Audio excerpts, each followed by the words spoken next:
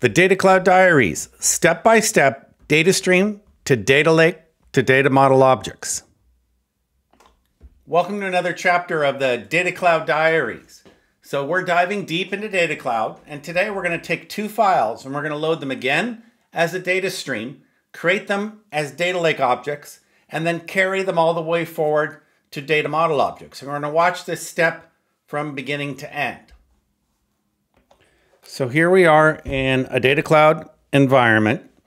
I'm going to be specifying an OA um, data set with as a filter I put on the list view. And that's because there is an open source, OurAirports. I mentioned this before in a previous video, where you're able to download open source data on airports, airport frequencies, comments, runways, nav aids, countries, and regions. So what I have done is I've downloaded these files and what we're going to be doing is we're going to take two of them today and we're going to load them all the way through to data model objects. So what we're going to do is we're going to start here and create a new stream, Amazon S3. And now we're going to do is start entering the, the information. Now in a previous video, I showed how I have a bucket, STA demo. I have a folder, our airports, and I dragged in and put in these files. So now what we're going to be doing is we're going to be configuring the source. So what I have here is I put in my bucket name, my access key and secret key used for the user to get access, the directory, our airports, the file name, and here's where I'm designating the source from the external system, in this case, our airports. Hitting next, and now it's accessing the file. And now I'm choosing a data lake object. This is where we're going to add a brand new data lake object. And what we're going to be doing is we're going to be giving this the name OA, airport, and I'm going to call it Amazon S3 to designate that it's coming through Amazon. Now, this will be an other object because it's not about a person as profile and it's not about engagement, which is activity. This is reference data as other. Now, I know that the key is ID, and I want to double check and make sure it came across as a text. So that's an important step. If it had other foreign keys, we need to make sure they come in as text for proper linking. So I'm going to designate this as an ID. So I've examined the data stream, made sure that the only numbers are things that are true numbers. And now I'm going to hit next. Now a key thing here is we're going to decide to put it in a data space, which will give it a segmented location for privacy. We're going to choose upsert. We're, since this file, we're controlling its access, we're going to say right now not to put an undo load. We're going to say no refresh schedule. And then we're going to say deploy. So this is creating the new data stream. And it's being deployed. So now we see the data stream, the fields, and this is here. So we have now created the new data stream. Let's go ahead and create the next one. So I've hit new data stream, Amazon, and now I'll fill out this data.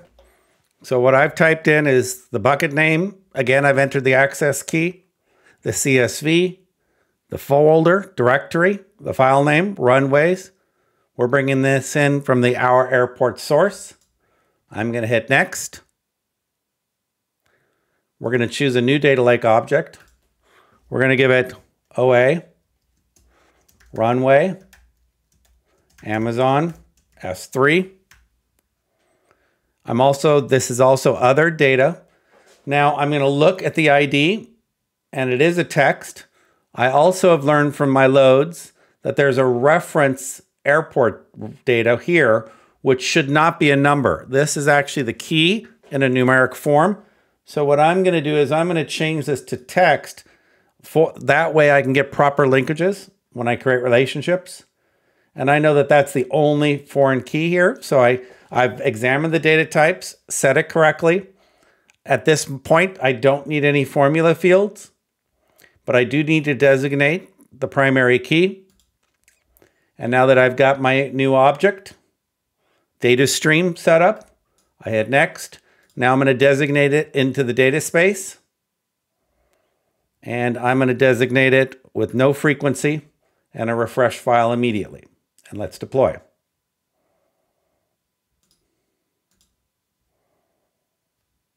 Oh, I need to designate that it's an upsert. That means that it'll be uh, replace existing data with new updated data versus a full refresh. And now it's creating.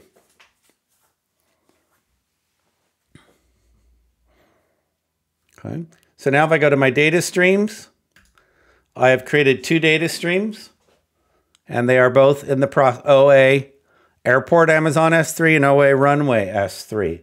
And they're both accessed and they'll be loading in the next minute or two.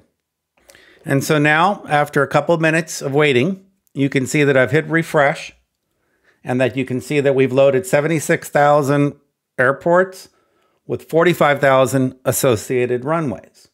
And these are now in our data stream. We go to the data lake object and we now see that we have these two objects in our data lake. So let's go take a look at the airport object. So here is our airport object and it is now a data lake. That means it's in the, the structured objects, but not, not actionable. So what we're going to do is we're going to map this over to our data model, data cloud data model objects. There's a really nice, if you have a brand new object, there's a really easy way to do that. I'm going to hit the start on the data mapping. So this is for the first object. And this allows us to map and gives us a really powerful mapping we're going to make this really easy today. We'll show because we're just creating a brand new object. So what we're going to do is we're going to create a brand new object here. And we're going to make on the custom data model, new custom object. Now it's made the guesses according to, first we're going to choose all the fields and it's made assumptions on the value types. So the only thing I'm just giving it a quick double check, make sure the primary key is a text and the enable value suggestion is a feature in Data Cloud where if you're, it'll then look for suggested values. We'll be going over that in a subsequent conversation. Um, right now, we're going to leave these unchecked, but we'll do a couple of for the value suggestions. Maybe like the type um, and maybe the municipality. We'll just pick a couple of these. Now what we're going to do is we're going to hit save. And what we've done is we've created the data stream, which created the data lake. And now we're doing the data lake to create the data model. And so now we have the mappings. You can see on the left is the data lake object. And these are all one-to-one -one mappings because we're creating the target from the source. And once we're in a, we've in a good place, we could add any modifications. We're going to hit save and close. Now, there's just a quick little warning on logging, but it's successfully added the mappings. And now we have a data model object here. And this data model object is now ready for us to take our data cloud actions because we have the, this object ready to go. Now while we wait for it to process, we're going to the runway object. We're going to follow the same process. So we're going to hit the mapping. We're going to then create a brand new custom object based off of this.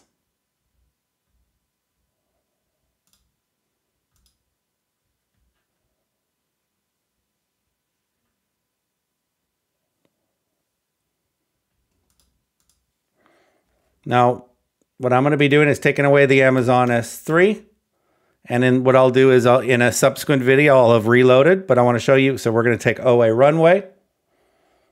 It's going to inherit the data category from the previous, from the source, which is other.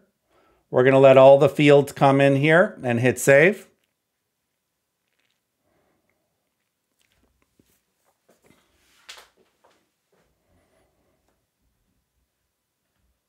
and then we're going to save and close. Just get a little logging error, but we successfully have the mapping. So we go to our data model and we refresh. And now we have the runway plus the airport. So this allows, shows us how our data is now ready. We can go to the Data Explorer. So first, we can check the data lake object on the airport and we can see our data. Then we can switch to our data model object on the airport and see our data. So what we have done is the data streams are the feeds in from the data sources. The data lakes are the pretty much the pool of data that's come in in its original format um, from the data source. Now, in the data model is where you have your more abstracted, um, genericized model that you're going to use.